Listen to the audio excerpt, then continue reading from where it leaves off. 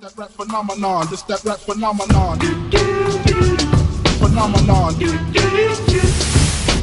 What's going on, guys? CarDoc. Uh, just real quick, I wanted to let y'all know the live stream will not be happening Sunday at 4. It will be happening tonight, Saturday, at 6. Uh, there's been a slight change of plans, mostly based on uh, some other stuff I need to do.